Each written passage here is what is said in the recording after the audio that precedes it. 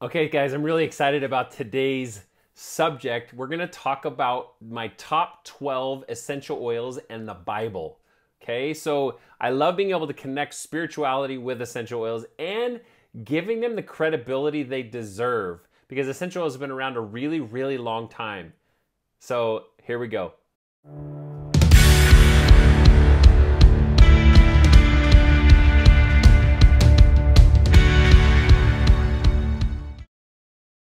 So, going into essentials in the Bible, there's lots and lots of different references. It's, they're actually mentioned over 300 times in the Bible. Um, they're one of the most powerful forms of medicine in that day, right? They actually date long, long ago. Um, they've dated him all the way back to the tomb of King Tut when they undug him. He was buried with his frankincense. Oftentimes, Back then, the old kings of, the, of that day or the old pharaohs were buried with their frankincense along with their gold because they valued their frankincense as much as their gold back then, because frankincense is considered the uh, liquid gold, if you will. Not only because it's a very expensive oil, but because it's such a value health wise and spiritually wise to be able to bring that balance into our bodies and our systems. Um, talking about Mary washing the feet of Jesus and spilling the bottle of uh, of nard or spikenard, and knowing that that or understanding that that spikenard back then was about a year's worth of wages for them. So they were really they were really anxious that she spilt this expensive bottle or broke this expensive bottle of, of spikenard. Um, when she washed the feet of Jesus with her hair. Um, and then moving on into the three wise men and how they were able to bring gold, frankincense, and myrrh to the Christ child, and how gold, frankincense, and myrrh were the, one of the three, three of the most valuable commodities there was back then. Again, stepping into frankincense and myrrh being almost like a liquid gold. Frankincense, spiritually, was known to anoint the birth of a child, and myrrh was was the oil that they used to anoint the death of a person. And so that was a fun fact that I learned years and years ago. However, something cute of my wife, she's such a sweetheart, but before we got into essential oils, um, she used to think, she jokes now openly, but she used to think that um, frankincense and myrrh, she used to think that they were extinct metals because they came with gold, frankincense, and myrrh. So they thought they were other metals as well back then. However, needless did she know, years later, getting into essential oils, that they're beautiful, precious essential oils now that bring us so much light and love in our lives.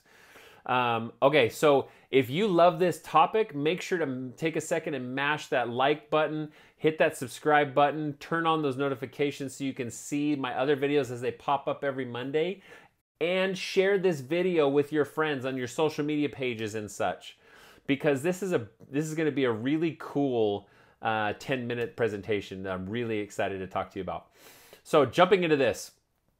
Also, before we do, if you have a favorite essential oil from the Bible, make sure to put it in the comments below. Um, number one, frankincense. Frankincense is referred to over 67 times of the 300 references to um, essential oils in the Bible. Frankincense is probably the most used essential oil in the Bible because of its versatility. It's known for bee stings, bug bites, skin irritations, head tension, uh, digestion, cognitive thinking. It actually has a, constituent in it called alpha pinene, and that's a compound that helps promote the brain or the calming of the brain. So, frankincense is known for its ability to help promote healthy brain function. Okay, so you want to apply that right on the back of your neck. It's a beautiful oil. Number two, myrrh essential oil. Myrrh oil is great at balancing, balancing our hormones, balancing our um, brain, balancing our thoughts, balancing our process. Also, calming. It's a very calming oil to help you rest and settle down, right? But it's a great balancing oil overall. Uh, number three, cinnamon. Cinnamon is known for balancing blood sugar and great at killing fungus, interesting enough, if you're ever dealing with any kind of fungal situations. The Bible references that holy anointing oil, and that holy anointing oil is known to have myrrh, calamus, cassia, cinnamon, and olive oil, all beautiful, powerful spiritual oils. number four, number four is an oil that we don't hear about a lot in the U.S. Uh, called hyssop. And if there's an oil that it might be closest to, uh, it might be something like thyme or oregano, which are great at promoting healthy respiratory function. They're also great at getting rid of those unwanted pests and bugs that might come with our seasonal threats in that uh, in that season of the winter, if you will. Um, but it it's not one that we use in the U.S. necessarily very often. However, it's still used quite a lot, but in the Middle East. Number five is cedarwood. Cedarwood's referenced by King Solomon uh, for bringing about wisdom.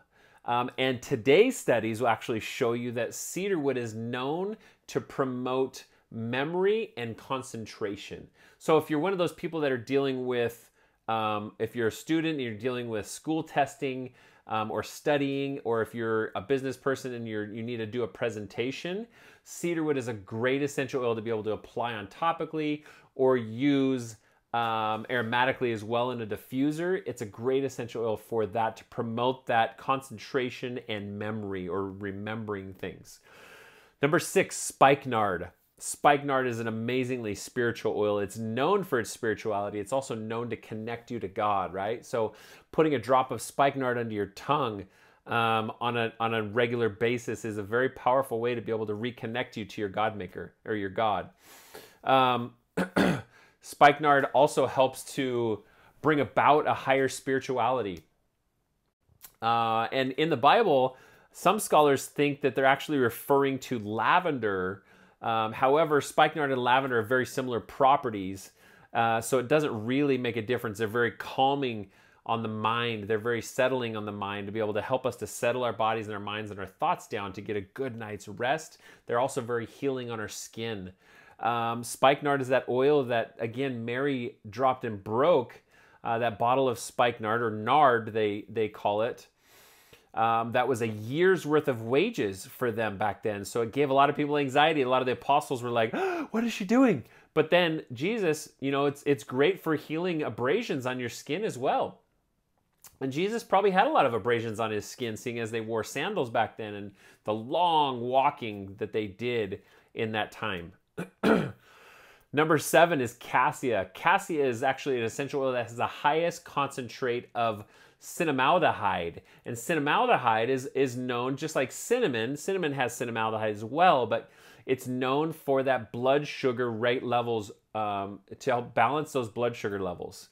And it also has a warming effect, right? So when I'm cold in the winter, I'll take some cassia and I'll rub it on my hands and just really helps to bring about that warmth. It's great as well if you diffuse it or you can apply it with, and you want to use a, a carrier oil like a fractionated coconut oil or something with this because it can be very spicy on your skin. So cassia gives you that kind of warming sensation or that warm blanket to wrap up in if you ever dealt with a traumatic situation. Cassia is a great way. It's also very protective spiritually. You can diffuse it in your homes and and it'll protect you spiritually as well as help you to combat and purify your air through that diffusion um, through the diffusion application. Number eight is sandalwood. Sandalwood is one of my favorite oils. Not only because it, it's a natural aphrodisiac, so it, it boosts your libido if you're struggling with any of that, but also because it's so healing on your skin and your spirituality. It helps also to fight off and kill those mutated cells that lie within our bodies that they have a hard time getting rid of. It's a it's a great um, motivation booster as well as great for your skin. Um, it was used oftentimes back then for um, a perfume or a fragrance, an air freshener, if you will, um, or even a deodorant. They used it for oftentimes back then. And again, Solomon was one of those people that that referred to sandalwood, and oftentimes they referred to sandalwood as a, a word called aloes um, and and so if you ever see aloes or aloe referred to in the Bible, they're talking about sandalwood with that uh, reference. Number nine is calamus. Calamus is one of those oils that was part of that holy anointing oil. And it comes from the roots of a grass, and it's known as German ginger. So if it's anything like ginger, it's not another oil that's very well known, but if it's anything like ginger, it's going to be something um, that is very, it promotes healthy digestion and healthy um, stomach discomfort. It helps to get rid of stomach discomfort. Um, it's also great at reducing inflammation. It's a strong reducer in inflammation, as well as a great insect repellent. It's part of, again, that holy anointing oil. And there's actually a section in the Bible in uh, Israel's camp with Moses that God commands Moses to take that holy anointing oil and diffuse it throughout the camp because they're dealing with the plague at the time and they weren't able to get rid of it until God commanded this. Moses did that. He diffused it throughout the camp and they're able to kill off and get rid of that plague um, and that sickness that was within the camp. So that's quite an interesting um, perspective uh, or use of that essential oil. Number 10 is Rose of Sharon. And this is by no means a rose as we call it our, in our day. However, this was referenced by King Solomon as well, and probably potentially used by a, a Queen Esther as well uh, for its floral properties. Uh, it's very floral in general. It helps to improve our mood. It helps to reduce anxiety and, re- and reduce depression and incredible for healing on the skin, right? So if you have any kind of skin irritations or bruises or burns or things like that, minor skin irritations, you definitely want to reach for something like this or any kind of a floral essential oil. Number 11, galbanum. Galbanum is actually an interesting oil. It supports respiratory health. Um, it also promotes lymphatic draining. So when we we have our lymphatic system, it's actually a huge part of our our immune system and our lymphatic system. If we can if we can help to drain that, it starts to build up with these this toxic uh, liquid, and if we can help to drain that lymphatic system and our lymph nodes, then we can help to reduce our toxic load and allow us to get rid of that toxic load is, is instead to have a healthier, balanced body. And number 12 is cypress. Cypress isn't a beautiful essential oil, but it's also a beautiful wood. It's one of our wood oils as well, like cedar wood. Um, and it's been believed that either cypress or cedar wood is the wood that the cross was built out of, that Jesus hung on, unfortunately, on those last days of his life here on earth. However, it's also a beautiful essential oil when it comes to uh, promoting respiratory health. It also is a beautiful essential and one of the most powerful when it comes to healthy circulation.